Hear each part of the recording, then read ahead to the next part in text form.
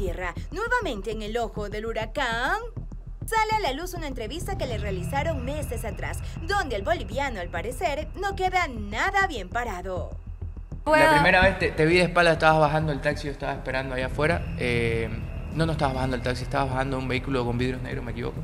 Bueno, soy muy observador. lo que vas a decir. fueron ya me lo imagino. Según la opinión de varias personas, quedó como un completo patán.